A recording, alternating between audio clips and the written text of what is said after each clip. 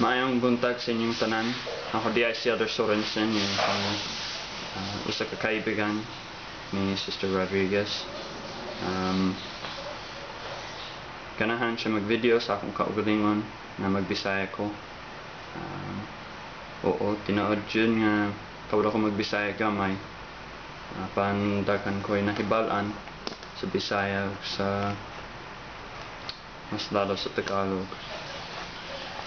Pero gikan ko sa Utah sa Indiana sa US. Mga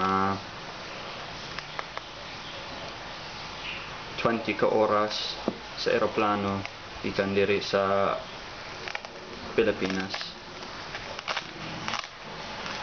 Nag-mission ko diri sa Manila Mission. Sa ka, ka-mission ni Sister Rodriguez.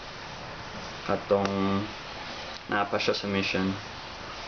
Karon na-assign ko diri sa Borland, Palawan. O ang pangalan sa akong kauban si Elder Orokay. Ang taga Sam Samar, taga Samar siya. Pero karon 20, 21 na ako ug nakap napakoy usa ka tuig diri sa mission um, bago ma maulin ako apan um, nalipay na ako diri sa Pilipinas. Um, grabe ka kalipay diri. Um, nag-enjoy lang ko.